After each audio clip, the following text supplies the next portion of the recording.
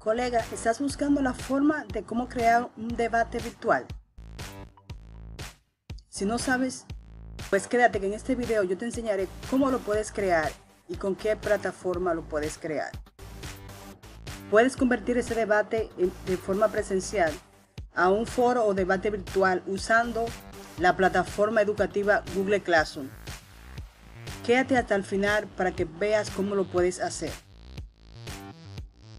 Esa es una buena estrategia, pues los estudiantes pueden utilizar su móvil, pueden utilizar la tablet, pueden utilizar la laptop y estar en comunicación con sus docentes y también entre ellos, pues el foro es un espacio en el cual le permite estar en comunicación e interactuar respecto a un tema en particular.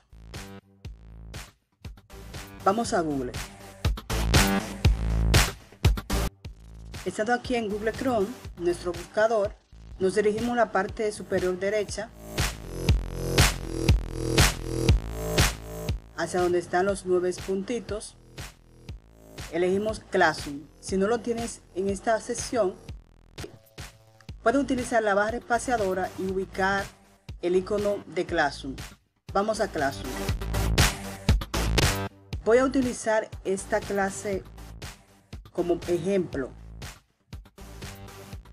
Para crear el foro puedes eh, hacerlo teniendo ya un tema o puedes crear las preguntas y después crear el tema. En este caso te, daré un ejemplo eh, con relación a la asignatura de formación integral humana y religiosa. Primero voy a crear el tema. Le damos a trabajo en clase le damos luego a crear. Al final, donde dice tema. Y vamos a escribir aquí el tema. Mi familia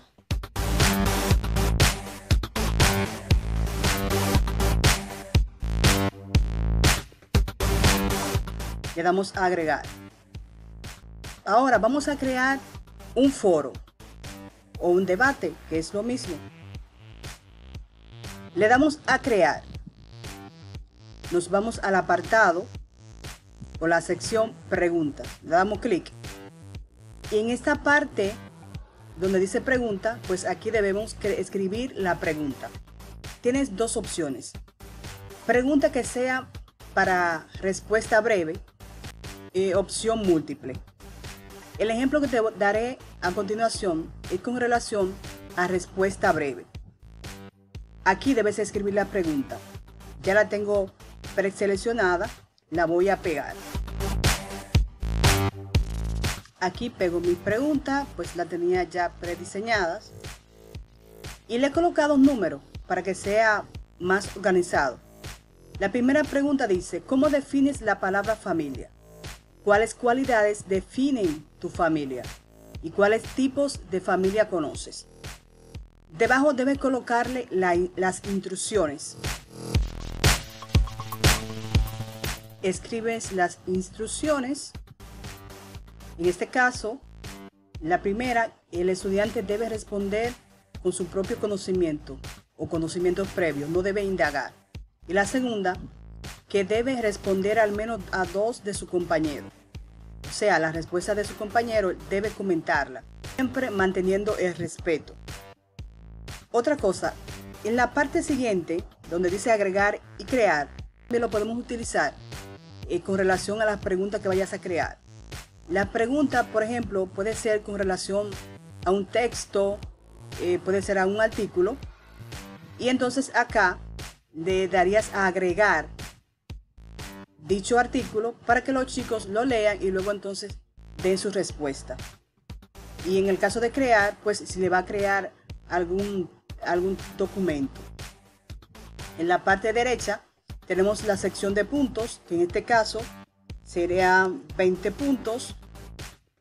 También puedes colocar la fecha de entrega o dejarlo sin fecha de entrega.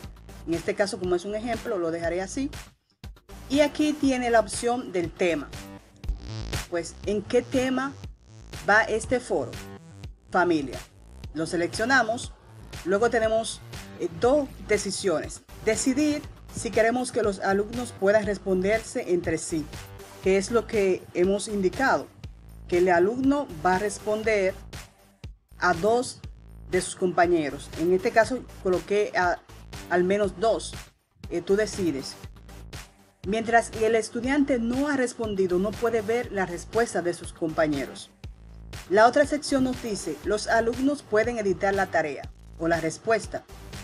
Si decides eh, que sí, pues el estudiante luego de haber enviado su respuesta puede editarla. En este caso no lo marcaremos. Tenemos la opción de decidir eh, a cuáles estudiantes irá este foro. En este caso, para todos los estudiantes. Ya hecho esto, pues entonces vamos a darle a la opción preguntar. Observa que ya en tu tema Mi familia tienes un foro. Entonces vamos a ver cómo los estudiantes van a responder este foro. Bien, aquí estoy en una cuenta como estudiante. Observo aquí que en el tema Mi familia ya tengo un foro. Le voy a dar clic. Aquí observo las instrucciones. Luego le doy a ver pregunta.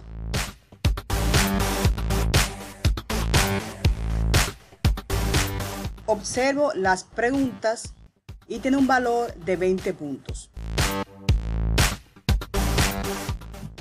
Aquí nuevamente me muestra cuáles son las instrucciones que debo seguir. Luego tenemos acá donde dice escribe tu respuesta. Como normalmente el estudiante tarda en contestar, sería bueno que este lo tenga ya escrito en algún documento o puede ser en un chat sin enviarlo, lo copie y lo pegue en este espacio. Entonces pegamos la respuesta. Y luego le damos a entregar. Luego nuevamente confirmamos entregar. Y acá se observa mi respuesta y me dice las respuestas de tus compañeros. Porque como ya he respondido, puedo ver las respuestas de mis compañeros. Pero en este caso, eh, ese estudiante fue el primero en responder. A medida que los compañeros vayan respondiendo, ese estudiante podrá ver sus respuestas. Volvemos a la cuenta como maestro. Le damos al foro. Observamos que ya alguien ha entregado la respuesta. Le damos a ver la respuesta. Ya podemos observar que este estudiante ha respondido las preguntas. En la parte izquierda vemos que dice 20 puntos. Leemos la respuesta de las preguntas y aquí le podemos calificar. En este caso vamos a colocarle 20 puntos a ese estudiante. El estudiante no va a ver esta calificación al menos que la devuelva le damos a los tres puntitos y le damos a devolver. Confirmamos devolver, pues aquí nos informa que el estudiante en esta ocasión va a ver los puntos que se ha ganado. Le damos a devolver.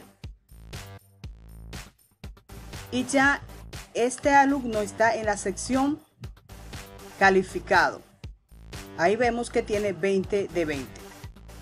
Bien, espero que te haya sido bastante útil. Si es así, déjame un like, un comentario, comparte y suscríbete si no te has suscrito porque Dios mediante continuaré subiendo más videos.